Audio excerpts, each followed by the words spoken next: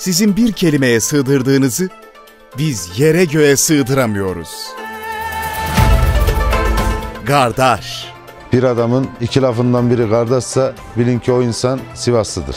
Ne diyorsun kardeş? Çok iyiyim kardeş. Saatler olsun kardeş. Eline sağlık kardeş.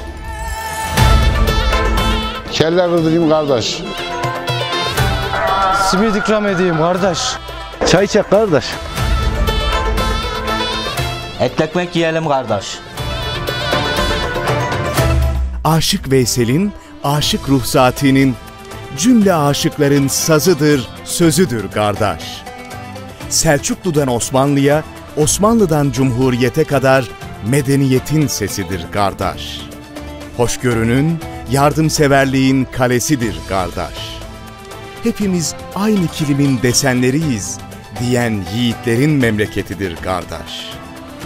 Thank you.